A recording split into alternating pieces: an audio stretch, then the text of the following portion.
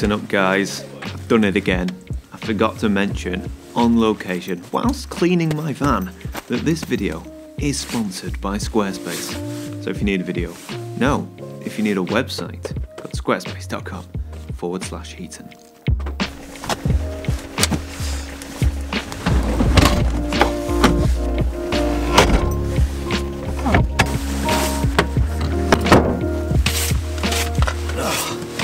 So, I'm starting today's video by having a bit of a clear up of the van. It's, it's almost a pointless task because in winter, as soon as I get in the van, you know, I've got mud and snow all over my boots and all that snow comes into the van, turns to water, everything gets wet. It's a bit of a nightmare to be honest, but if I didn't clean it, it would just build up and build up. And I think by having a fresh, clean van, and that kind of puts me in the mindset of a fresh start, and uh, you know, that translates to photography. So yeah, good good clean of the van. The van's a bit more crowded than usual, shall we say. Obviously it's just me in here, but with it being winter, I've got so much more stuff than I would normally have. Big jackets, extra bags, extra boots, everything gets wet. So yeah, keeping on top of things being clean and tidy and making sure that I fold my bed back to a seat every single day so that when I drive around in the van it feels organised. You know, organised van, organised mind. You know, clear van, clear mind. That's what they say. So that's what I'm doing. Clean the van. And then I think it'll be time for some afternoon photography. And uh, yeah, it's a beautiful, beautiful day.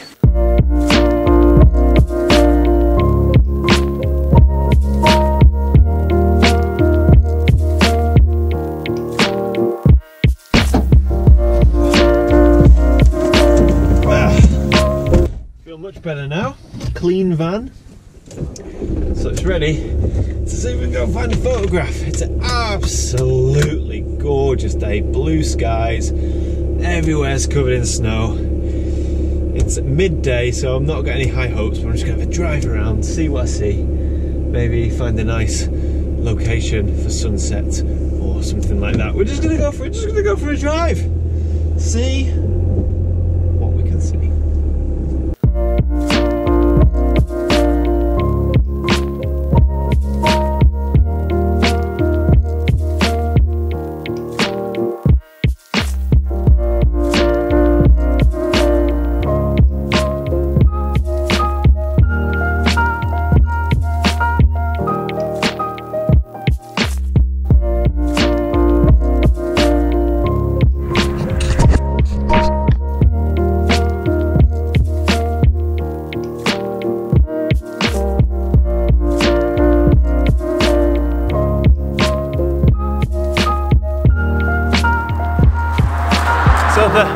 Attack for this afternoon, or this lunchtime anyway, is quite simple.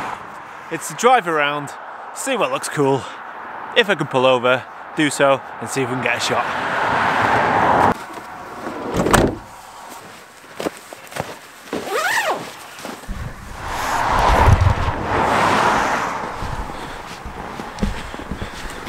So what I saw was uh, quite simple. We've got all of this mist and fog hanging around.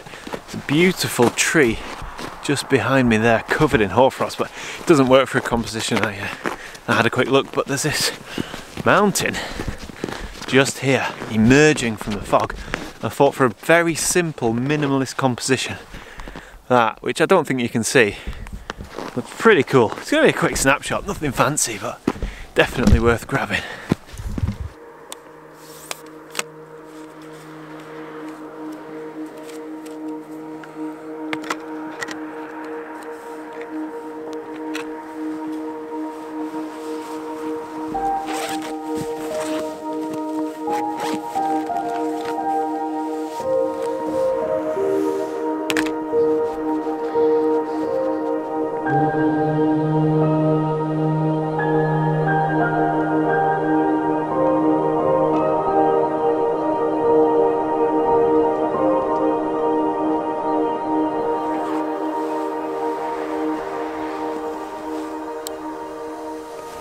So there's uh, not much to say here really.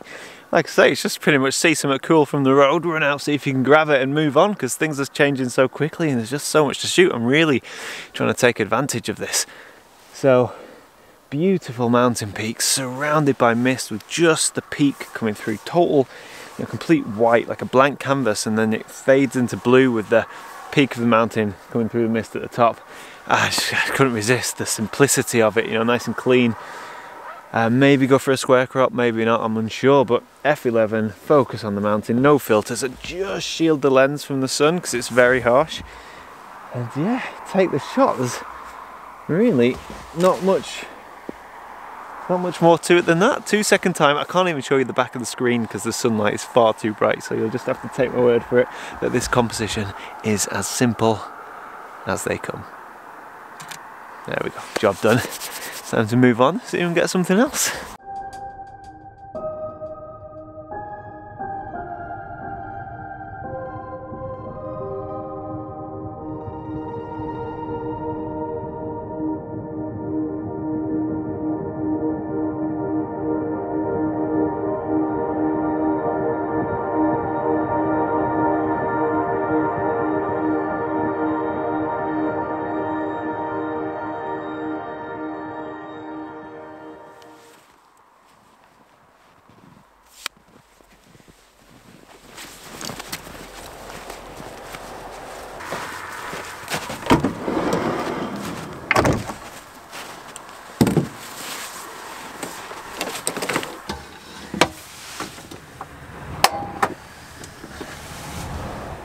Oh dear.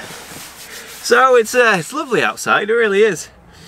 But uh, all of that mist and fog just disappeared in an instant, and now I'm, I'm driving around.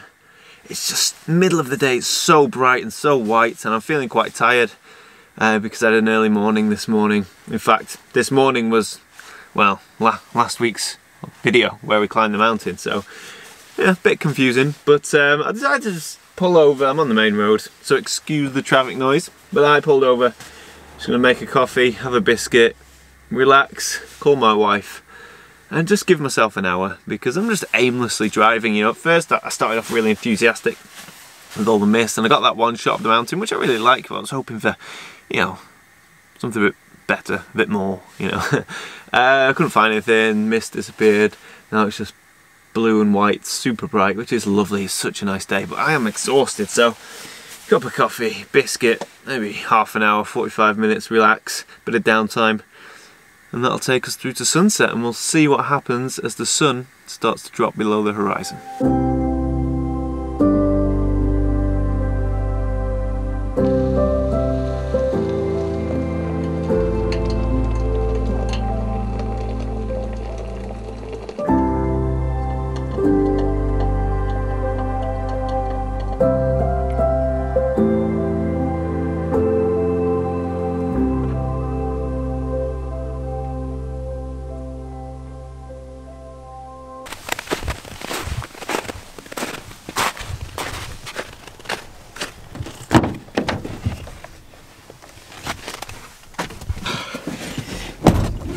No! Oh, ah, there we go. So after my coffee and a, a, bit of a rest up, I have come to a an area I want to tell you about. If you come to Glencoe and you're in a camper van or you like to sleep in your car and shoot for photography that way, which I used to do quite a lot, and it's, it's great actually, it's better than hotels I think for a night or two. Well, I've been sort of around the Glencoe area now for about a day and a half, and for the past 24 hours, I've spent most of my time here at the Glencoe Ski Centre um, in their car park because they've got everything. They've got everything. If you're in a camper van, you can just park up and use the car park, um, you know, as a donation box. Or if you want to hook up to electric, it's 15 quid, which isn't too bad. But they've got showers, they've got toilets, they've got a drying room, which is awesome. I've just had a shower. Uh, they've got a cafe, full breakfast and a coffee, seven quid, and it's really, really good. Yeah, I mean, this is like the perfect location for photography. You know, we're right in the middle of it, and it's just superb. So yeah, I don't know, I don't know, just a, a little tip if you're uh, in a little camper van or a big motorhome, whatever, or a car, and you're just looking for somewhere to rest up in a in the most beautiful and scenic of areas, then come and crash at the ski centre. Right, it's getting on now, late afternoon see what we can see.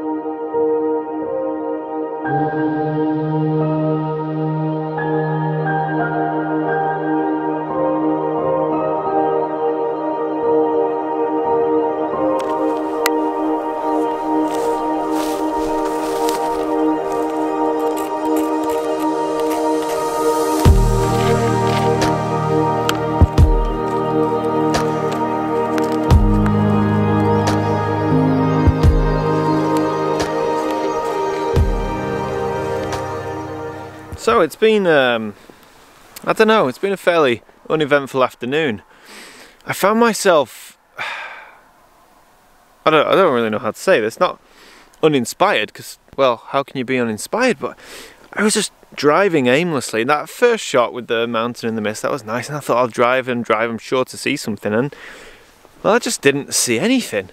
And I drove all the way down to Glencoe and then round Loch Leven, and I was just getting tired and really wasn't in the mood for shooting anything. You know, if, if, if something looked like there may have been a shot there, normally I'd get out and walk over and go and have a look. But I just I just wanted to sleep, you know, and uh, that's what I was prepared to do. I was prepared to make this video, um, you know, the end of this video anyway, be about you know you don't always have to get the shot, and sometimes it's okay to have a bit of time off. But then I was driving down the main road, saw this tree just here, and I thought, it's really bad of me, but I thought, you know what, if there's a car parking space or a lay-by or a little pull-off near that tree, I'll go and have a look. And lo and behold, there was. So I pulled up with the van, came over and had a look, and I'm so glad I did because it's just beautiful. It's this gorgeous, gorgeous tree, uh, plastered on one side in snow, the side I'm shooting. Um, and there's a bit of hoarfrost on the on the tops of the tree, of the tops of the twigs there, the, the top of the tree. Now it's very very late in the day. The sun set about 15-20 minutes ago, um, so I knew I'd be up against it. But actually, um, I think I'm quite lucky because we've got that deep blue sky, yet the white snow and the snow on the tree is being lit by the setting sun. That sky is much brighter, so the light of the sun is reflecting um, back onto the tree on this side so you get a very very subtle kind of uh, glow on the tree so it's ve very well balanced. Um, it's an incredibly simple composition. It, it truly is. Now I can't make my mind up here in the field. I'm just I need to look at it on a computer screen. I'm too tired. I can't decide whether I want the tree dead center square format or right hand third 16-9 or right hand third 4-5 can't decide. I'm just messing around, and effectively, what you need to know is I'm shooting the tree. It's in the frame somewhere. Um, I'm about 50 mil. I'm not. I'm being careful not to fill the frame too tightly with the tree. The tree needs room to breathe. If you've got a single subject in a minimalist scene, you have to give that subject space. And then the viewer will believe that that space goes on forever and ever and ever, and that's how the world looks. And actually, in this case, it's true, because look, there is nothing around me at all. Just that tree. That is fantastic. So let me let me grab the shot now because the light is constantly changing. It appears that the sky to the east is getting bluer and darker and richer in colour. Um, and that's you know that's always nice. So I'm gonna gonna grab this shot now. Let's have a look. I'm at f7.1 because I don't have no depth of field really. Let's see. I'm gonna change that because I've taken a few f7.1. I'm gonna go to f9 just to increase my depth of field just in case there's bits of foreground that's a bit too soft but I really don't think that's the case not because I'm shooting at over 50 mil and checking my histogram yeah we're good and it really is a simple composition I'm focusing on the tree yeah. There we go just make sure it's nice and sharp. And I've got a, uh, a two second timer on. And it's just really really really simple photography very simple photography. But I think in conditions like this it's quite effective photography. And I'm so glad that I came across this marshland. I did fall over thank you. And uh, pursued this shot because it's just gorgeous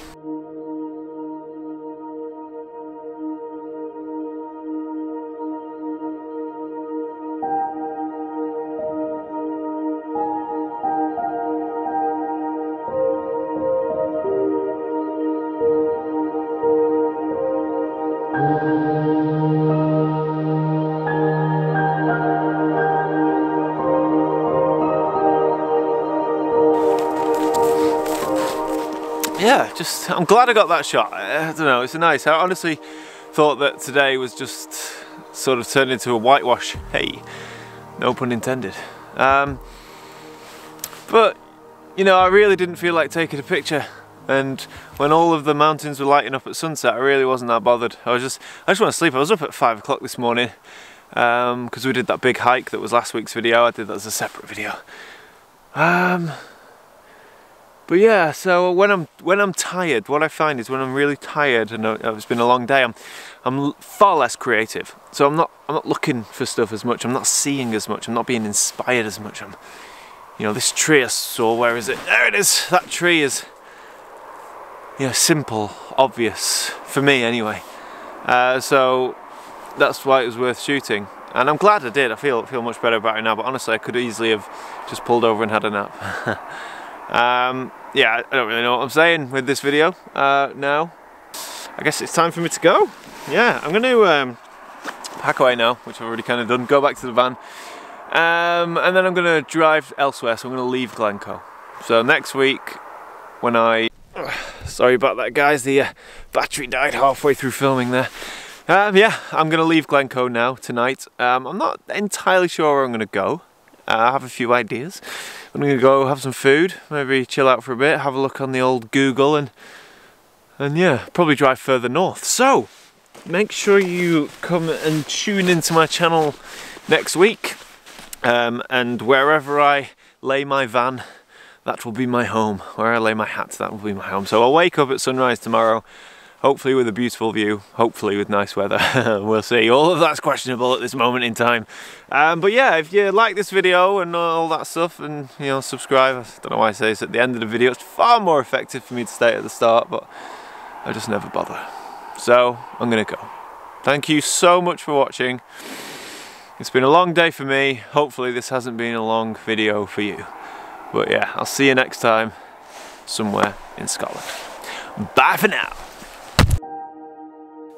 So, once again, I needed to put the images at the end of this video in order to let you guys know that this video has indeed been sponsored by Squarespace. They're a great website where you go on and build your website. Yeah, pretty good.